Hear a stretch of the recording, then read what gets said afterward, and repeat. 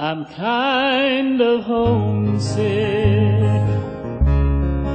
for a country to which I've never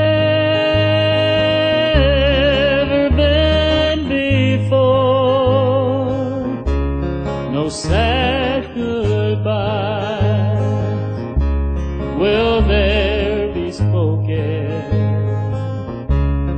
for time won't make